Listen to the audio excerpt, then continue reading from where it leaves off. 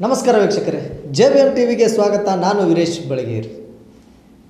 ಸಾರಿಗೆ ಹಾಗೂ ಮುಜರಾಯಿ ಇಲಾಖೆಯ ಸಚಿವರಾದಂಥ ಶ್ರೀಯುತ ರಾಮಲಿಂಗ ರೆಡ್ಡಿಯವರಿಗೆ ಹುಟ್ಟುಹಬ್ಬದ ಹಾರ್ದಿಕ ಹಾರ್ದಿಕ ಶುಭಾಶಯಗಳನ್ನು ತಿಳಿಸುತ್ತಾ, ಅವರ ಬಗ್ಗೆ ಒಂದು ಸಂಕ್ಷಿಪ್ತ ಕೆಲವೊಂದು ವಿಷಯಗಳನ್ನು ತಮ್ಮೊಡನೆ ಹಂಚಿಕೊಳ್ಳಲು ಇಷ್ಟಪಡುತ್ತೇನೆ.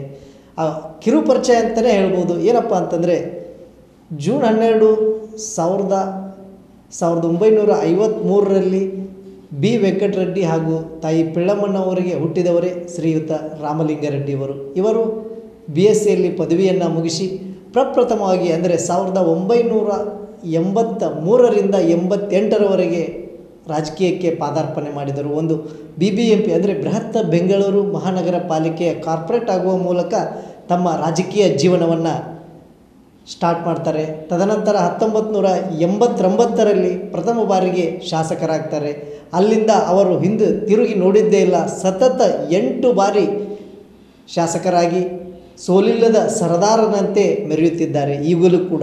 ಹಾಗೆ ಅನೇಕ ಹಿರಿಯ ರಾಜಕಾರಣಿಗಳಾದ ವೀರಪ್ಪ ಮೊಯ್ಲಿ, ಎಸ್. ಎಂ. ಕೃಷ್ಣ, ಸಿದ್ದರಾಮಯ್ಯ, ಇನ್ನೂ ಅನೇಕ ಸಚಿವರ, ಅಂದರೆ ಎಲ್ಲ ಮುಖ್ಯಮಂತ್ರಿಗಳ ಜೊತೆ ಇವರು ಕೆಲಸವನ್ನು ಮಾಡಿದ್ದಾರೆ.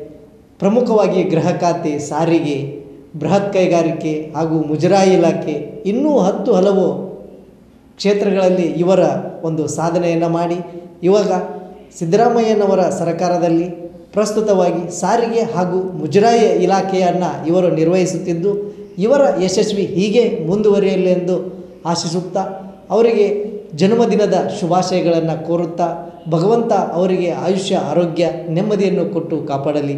ಶುಭಾಶಯಗಳನ್ನು ಕೋರುತ್ತಿರುವವರು ರಾಮದುರ್ಗ ತಾಲೂಕಿನ ರೆಡ್ಡಿ ಸಮಾಜದ ಅಧ್ಯಕ್ಷರು ಹಾಗೂ ಜೆ ಬಿ ಎಂ ವಾಹಿನಿಯ ಮಾಲೀಕರಾದ ಶ್ರೀಯುತ ದ್ಯಾನೇಶ್ ಬಸಪ್ಪ ಮೇಲಪ್ಪಗಳು. ಇವರು ಅವರಿಗೆ ಜನ್ಮದಿನದ ಹಾರ್ದಿಕ ಹಾರ್ದಿಕ ಶುಭಾಶಯಗಳನ್ನು ಕೋರುತ್ತಾ ಇದ್ದಾರೆ.